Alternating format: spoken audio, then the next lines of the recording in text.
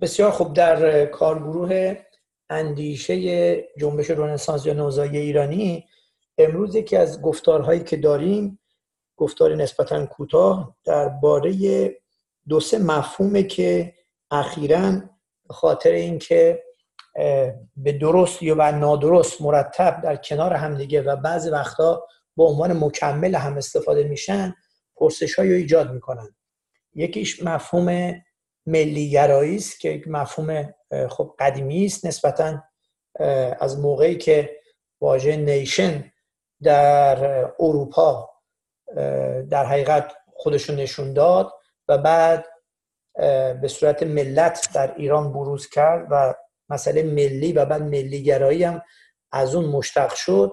ما مفهوم ملیگرایی یا نیروهای ملی یا دیدگاه ملی یا منافع ملی رو داریم.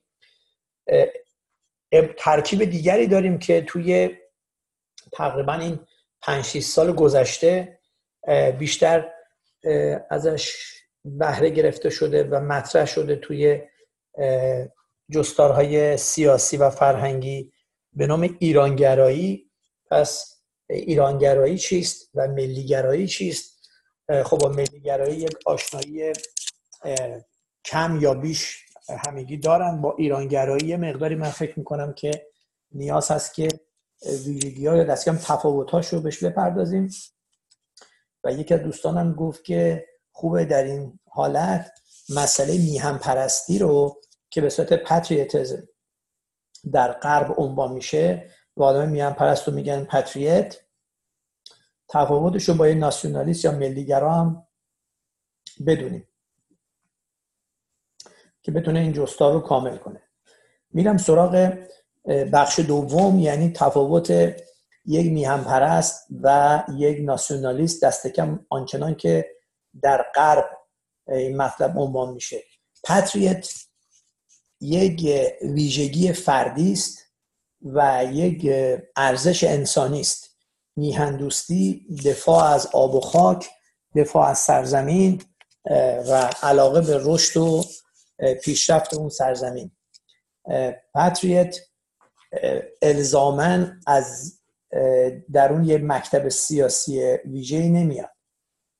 موقعی که در جنگ دوم جهانی آلمان به شوروی حمله کرد با وجود اینکه بسیار بسیار میزان نارضایتی در بین روسها از دولت کمونیستی بالا بود و بلشویکا با قتل هایی که کرده بودن و با فرستادن مردم به شکنجهگاه و با مصادره اموال و خیلی مسائلی که در جریان بود به نظر نمی اومد که روی خوشی به دولت خودشون داشته باشن و اتفاقا در آغاز جنگ خیلی خیلی سخت بود برای ارتش سرخ شوروی جلو آلمان ها بیسته. یه عده معمول بودن توی خطوط دوم بیستن و فراریا از جبهه رو بزنند یعنی خیلی از روس ها که کشته شدن در جبهه نه توسط آلمان ها بلکه توسط روس هایی که وفادار به دولت کمونیستی بودن در خط دوم کشته می شدن چون نمی‌خواستن برای حکومتی بجنگن که اون حکومت رو ازش متنفرن. اتفاقی که افتاد با تغییر سرفرماندهی ارتش در شوروی و مارشال جیکوف که به قدرت رسید اعلام کرد که این جنگ جنگ از سرزمین شور، شوراها نیست و جنگ از انقلاب اکتبر نیست. جنگ برای دفاع از انقلاب اکتبر نیست. برخلاف شورایی که تا موقع داده می‌شد. بلکه این جنگ جنگی میهنی است و برای دفاع از مام میهن از روسیه است. طبیعتا یه مقداری رو روحی ها اثر گذاشت و بعد دفاع جانانه که روس ها در لنینگراد و استالینگراد کردن به عنوان بخش های حماسی از تاریخ جنگ دوم جهانی ثبت شد.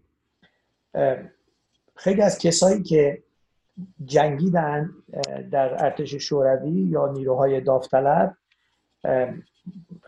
شاید حتی کمونیست بودن. ولی اونجا مسئله مسئله میهن پرستی بود. بنابراین یه کمونیست هم که بنابر مکتبی که درش در حقیقت رشد کرده بود و بهش باور داشت باید جهان وطنی بود و انترناسیونال می بود. انترناسیونال رو فقط برد در قالب این که این فقط کمک به دیگر کارگران و زحمتکشان جهان برای بلند شدن علیه کاپیتالیسم یعنی نظر مکتب برای خودش اینجوری توجیه کرد ولی گفت وقتی صحبت دفاع از میهن میشه من یه پتریتم من یه میهن پرستم. بنابراین یک مکتب سیاسی ویژه رو الزامن یه پتریت نباید داشته باشه. در بحث ملیگرایی چون ملیگرا نشنالیست کسی است که از مکتب نشنالیزم پیروی می‌کنه از مکتب ملیگرایی اینجا شما با یه مکتب سیاسی روبرو هستی که از قرن 19 برآمده و خب نسبت به میهن پرستی چیز تازه تر و جدیدتر است. میهن پرستی از هنگامی که انسان شاید خوش شناخته و یک جانشین شده درش وجود داشته. مطلب ملی گرایی به اونجا می‌رسه که از موقعی که نیشن استیت ها در اروپا رشد می‌کنه اون نوک پیکان وفاداری از سوی امپراتور یا سلطان یا شاه و یا واتیکان و یا کلیسایی که به حال اینا بهش اعتقاد داشتن یا زمیندار بزرگی که اینا رعیتش بودن در اروپا فلان کنت یا فلان دوک همش برمیگرده این نوع پیکان وفاداری به نشن استیت به کشور. واژه معادل کشور رو من در زبان انگلیسی نداریم.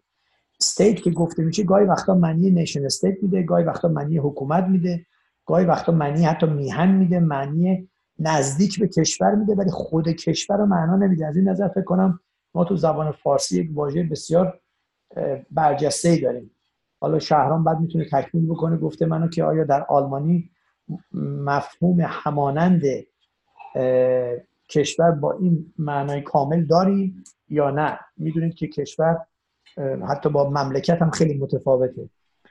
بنابراین با رشد این مکتب و وفاداری به اون نیشن استیت به پرچم و به کشوری که الان من یک شهروندش هستم و در نظر گرفتن هویت اون کشور حالا هویتی که بار تاریخی داره بار فرهنگی داره حتی بار آینی داره افسون بر این که اون مجموعی که کنار هم قرار گرفتن در این به سبب هویت فرهنگی که دارن و برای درشون یک پارچگی ایجاد کرده یه پرچم مشترک آورده حالا تصمیم بر این می‌گیرن که با هم یه آینده مشترک رو داشته باشن.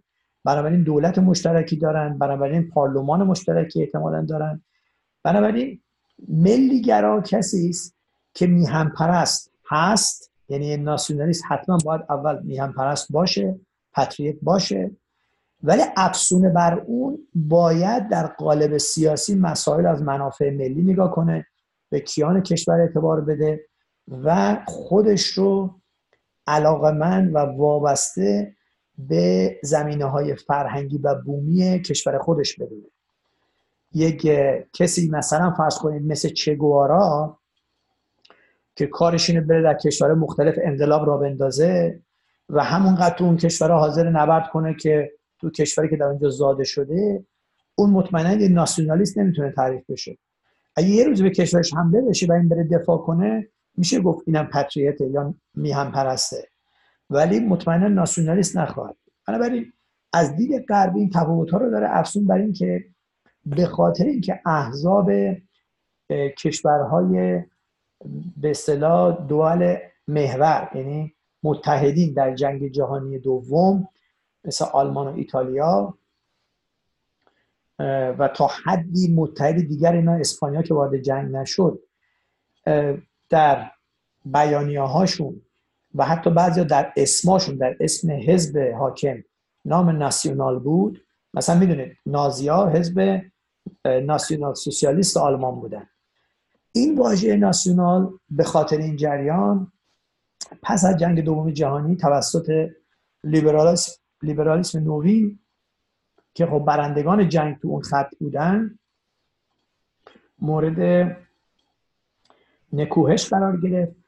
و هر چقدر جهان به سوی گلوبالیسم رفت و هر چقدر جهان لیبرال تر شد و لیبرال دموکراسی قدرت گرفتن به این ناسیونالیسم بار منفیتری در غرب داده در شرق به خاطر اینکه شوروی درها پدر جهان کمونیست بود و کشور شوراها نمی‌توانست خودش به عنوان مکتب انترناسیونال بیاد و از ناسیونالیزم حساب پشتیبانی کنه اونها هم این رو بر نداشتن. عملا کسانی که حس میهندوستی داشتن یا حتی حس ملیگرایی داشتن در غرب مثلا در امریکا و نمی‌دونم احتمالا در انگلستان هم همینطوره به جای واژه ناسیونالیست که یه مقدار زیادی بار منفی بهش داده بودن توسط رسانه ها و در حال جرنت لیبرال اومدن و واژه پتریت رو استفاده کردن. این تقریبا در امریکا تا همین اواخر که میشه گفت جنگ ناسیونالیستا و گلوبالیستا بالا گرفت و اوجش دیگه در انتخابات ریاست جمهوری امریکا بود رقابت بین هیلاری کلینتون و دونالد ترامپ و همزمان به اون موجی که باعث برکسیت در بریتانیا شد و بریتانیا خودش از اتحادیه اروپا جدا کرد تقریبا ناسیونالیستا این مفهوم رو از اون بار منفیش خالی کردن و آغاز کردن عنوان کردن این که ما ناسیونالیستیم. بدون اینکه حالا ترسی از پیگرد یا برخوردهای منفی دیگران داشته باشن طبیعتا رسانه ها عمدهشون چه رسانه های تصویری چه رسانه, رسانه های انتشاراتی یعنی چاپی عمدهشون به خاطر اینکه به حال دست جریانات لیبرال هست یا آلترا لیبرال خیلی دیگه لیبرال هست اینها میکوشن هنوز این به اصطلاح بختک تاریکی رو به ناسیونالیسم در اروپا نگه دارن. ولی به نظر میاد که اعضاب ناسیونالیسم از اون شک که پس از جنگ دوم جهانی بیرون اومدن. من در جریانم مثلا در ایتالیا که تقریبا تو 80 85 درصد شهرها ناسیونالیستا برنده انتخابات شهرداری شدن چون شهرداری در ایتالیا خیلی مهمه. هر دو حزب که برنده بودن و هر دو حزب هم دست راسته بودن خیلی قاطعانه گفتن ما ناسیونالیستیم. و این تو ایتالیایی که پس از جنگ دوم جهانی نام ناسیونالیسم اصلا دیگه عملا جرم شده بود به خاطر موسولینی و جنگ دوم جهانی دوباره یک بازگشت دیگری است از جنگ ملیگرایی به اروپا که الان می‌دونید در اتریش و در هلند و در جاهای دیگه هم خیلی داره قدرت می‌گیره در به حال آنچه که الان داره رخ میده با توجه به سخنرانی سه چهار روز پیش آقای ترامپ هم در همین شهر هیوستون ایشون گفت من ناسیونالیست هستم که در حقیقت دیگه تعارف رو در واسی کنار گذاشت و حالا یه چند ساعتی رسانه های مثل سی و ام اینا بهش حمله کردن ولی تموم شد و من فکر کنم از فردا هواداران این جریانی که ترامپ به حال الان ریاست جمهوریشو داره بدون رودواسی و بدون ترس میگه ما ناسیونالیست هستیم. من فکر می‌کنم همچنان که دوست ارجمندمون آقای مانوک خدابخشیان چندین بار گفته داره تغییر دنده صورت می‌گیره در غرب و یک موجی از مسئله ملیگرایی که بعد از جنگ دوم جهانی ور افتاده بود داره رشد می‌کنه. ولی رشد کرده داره در حقیقت بروز می‌کنه. خب این درباره پاتریوتیزم وطن پرستی و نشنالیزم ملیگرایی بود. حالا ما تو زبان فارسی امروز روز ایرانگرایی رو داریم و ملیگرایی رو داریم. ملیگرایی چون تو بخش ناسیونالیزم یه تعریفاتی در موردش کردم باید یه بخشی اضافه کنم که ملیگرایی تو ایران جدا از مفهومش با یه سری از جریانها گره خورده. یعنی شما وقتی میگی ملیگرا به یه آدم 70 80 ساله تصورش مصدق و مثلا جبهه ملی است. یا وقتی میگی ملیگرا بعضی ممکنه حتی آدمایی مثل مثلا صحابی و مهدی بازرگان رو هم جزء طیف ملیگرا بدونن. از سوی دیگه وقتی گفته میشه فلانی دیدگاه های ملی داره خیلی کلی است. مشخص نیست که این فرد که خب دیدگاه ملی داره خب از این نظر خب خوبه. ولی آیا دیدگاه ملیش در قالب سنت مرسوم در ایران یعنی یک شیعه ایرانی است یا اینکه نه در قالب یک ایرانی بنیادگرا با نگاه یا نیم نگاهی دست کم به آین زرتشت یا اصولا یه ایرانی است که خیلی مدرنه یا ایرانی است که سنتی است؟ چون وقتی میگیم نشنالیزم یا ملیگرایی قاعدتا باید سنت ها در اونجا خیلی پررنگ باشه. ولی ما در ملیگرایی ایرانی به خاطر اینکه به هر حال مسئله مدرنیته هم تو این چند دهه در جهان حضور داشته و ایران هم تا حدی نشأت گرفته از این مسئله مدرنیته شما خیلی از سنت ها رو می‌بینی از سوی ملیگرا کنار میره. مثلا میگم خدمتتون یک ملیگرا یه ناسیونالیست قاعدتا تو دستجات کانسرواتیو تقسیم بندی میشه تقسیم بندی میشه در جهان. در کانسرواتیو یا محافظه کار. ولی یه ملیگرای ایرانی احتمال بسیار زیاد اگه خانومه بیهجابه اگر که مرد هست مثلا فرض کنید احتمالا هیچ مشکلی با خوردن مشروب الکلی نداره احتمال خیلی زیاد داره که اهل نماز روزه نباشه. یعنی اون چیزی که مربوط به سنن ملی است چون الان حتی تاسو آشورا هم جز سنن ملی بعضیا فرض می‌کنن. گرچه سنت مذهبی است. بنابراین ملیگرایی بسیار مفهوم کلی است در ایران دارم میگم نه در جای دیگه الزاما. و این باعث میشه شما وقتی میگی فلان این دیدگاه ملی داره می‌تواند از یک از همین دوستان خودمون در همین جنبش رنسانس ایرانی که مطلقا گرایش های اسلامی نداره آغاز بشه بره مثلا یه طیف گسترده یا تا مثلا نهضت آزادی و ملی مذهبی ها هم بگیره. بنابراین خیلی واژه است که خودش ایراد نداره. ولی اگر تکمیل نشه با عبارت دیگری خیلی می‌تونه مشکل زا باشه. ما تو بعضی وقتا می‌گفتیم نیروهای ملی باید این کارو بکنه من دیدم دو سه نفر دوستان می‌گفتن که با جبهه ملی در این مورد صحبت کردیم گفتم حالا جبهه ملی جای خودش ولی چرا شما تصور می‌کنید نیروهای ملی باید مثلا فرض کنید کسی باشه که الزاما جبهه ملی باشه؟ این چه تصوری است بحث دیگری که هست شما مثلا در مورد شخصیتی مثل رضا شاه که یک میهن پرست ششدونگ و یک خدمتگزار راستین این سرزمین توی چند صده اخیر بوده شاید شاخصترینشون بوده. اگه شما سال 58 59 60 که دو سال بعد انقلاب مثلا می‌گفتی که یه چهره ملی نام ببر بعد شما می‌گفتی رضا شاه میخندید. می‌گفت رضا شاه ملی بوده؟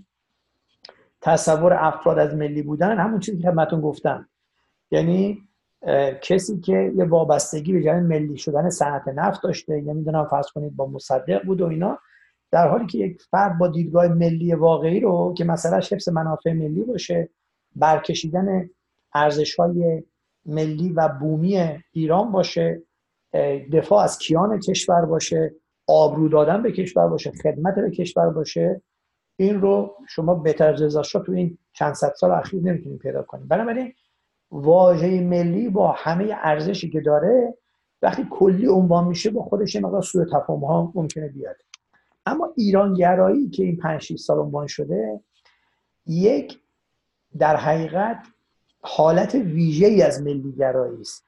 یعنی ملیگرایی شما یک موجودیت خیلی بزرگ بگیرید و ایرانگرایی یه حالت ویژه از اونه. به عبارت دیگری هر ملیگرای الزاما ایرانگرا نیست ولی هر ایرانگرایی ویژگی های ملیگرایی رو داره. و ایرانگرایی رو این گونه ما داریم تو جامعه می‌بینیم و این گونه میشه تعریفش کرد که امروز اگر بخوایم که خیلی راحت و بدون رو درواسی صحبت کنیم ایرانگرا کسی است که رستگاری کشورش رهایی از این نکبت کنونی و بیرون آمدن از این برزخی که دوچارش شده رو نه فقط در کنار زدن جمهوری اسلامی بلکه خیلی بنیادی تر از اون در کنار زدن ایدئولوژی و مرام و مسلکی می‌دونه که می‌تواند در اواخر قرن بیستم در یک کشوری مثل ایران انقلاب اسلامی رقم بزنه. می‌تونه در پیش از اون در قانون اساسی مشروطیت یک مواردی رو وارد کنه که این قانون اساسی رو امروز تبدیل به یک قانون اساسی عقب مونده بکنه چون بسیار مذهب زده است بسیار شیعه زده هست ایرانگرایی میکوشه که با برکشیدن بنیادهای اندیشه و منش ایرانی و ایرانی که میگیم یعنی منهای اسلام بکوشه این مردم رو از نظر فکری مسلح کنه از نظر خوی و منش به گونه ای مسلح کنه که با این سازوکار بتونیم از این نه فقط آفت چل ساله بلکه از این دوزخ هزار ساله رها بشن حالا 1400 ساله اگه بخوام از اون آغازش حساب کنیم. بنابراین مجموعی مثل دوستانی که در جنبش رنسانس یا نوزای ایرانی هستند طبیعتا ایرانگرا هستند و خب طبیعتا چون ایرانگرا هستند دیدگاه های ملی دارن. و یک ناسیونالیست هم می‌توانند محسوب باشن هر چند اگر اعتقاد داشته باشن که ایران باید ایران بزرگ به صورت دست کم دست کم به صورت یک فدراسیون ایجاد بشه به جای خودش. ولی با بنیادهای ملی ایران کنونی است که می شود اون پیوندها رو انقدر قدرت داد که بشود در آسیای میانه و در قفقاز و در همسایگان غربی و شرقی اون اراده رو برای اینکه سر به راه مام میهن آغازینشون بذارن ایجاد کرد. بنابراین ما دیدگاه ملی داریم وطن پرست هستیم ملیگرا هستیم ولی ایرانگری حالت ویژه از اونه. و بخشی از نیروهای ملی که ایرانگرا نیستن و ویژگی های متفاوت با ما دارن می توانند طبیعتا با ما همگام و متحد تاکتیکی که جهت استراتژیک باشن. هرچند ما یک مکتبی رو داریم و اونها مکتب دیگری رو دارن. ولی الزامات روز و شرایط ویژه کشورمون ایجاب می‌کنه. همه کسانی که دیدگاه ملی دارن. نه ملی مذهبی. من ملی مذهبی ها رو ملی نمی‌دونم. هر آن کسی که دیدگاه ملی داره حتی اگر خودش رو آدم لیبرال می‌دونه حتی اگر خودش رو سوسیالیست می‌دونه ولی دیدگاه ملیش کامله. یعنی نمیگه من ملیگرام ولی فدرالیستم. اینا تناقضه اینا تعارفه اینا بازی کردن با واژگانه. کسی که در اندیشه و در عمل ملیه و ملی گام برمیداره می‌تواند برای ما و ما برای اونها همگام و متحد استراتژیک باشیم تا هنگامی که دستمون باز بشه دست اونها باز بشه بتونیم آنچه که بهش باورمندی این دبستان اندیشه خودمون رو بیشتر مردم رو باش در جریان قرار بدیم و یک روزی که فضا بازتره هر کسی یا هر جریان فکری بتواند سخنش رو بگه و ببینه کی بیشتر می‌تونه فرمول یا نسخه رستگاری کشور رو در اختیار همیناش قرار بده. سپاسگزارم از توجهتون دوستان.